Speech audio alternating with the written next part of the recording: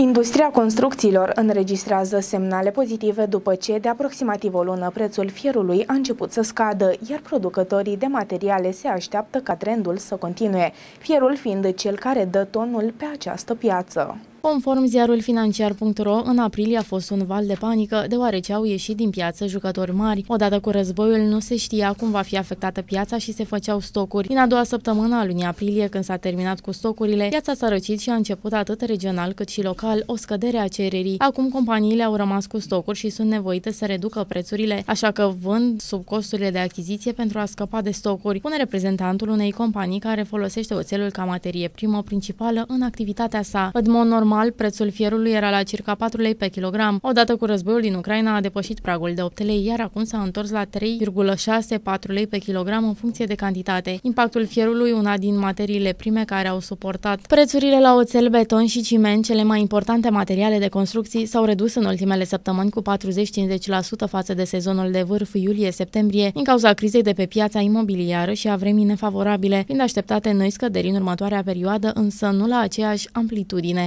conform ziarul financiar.ro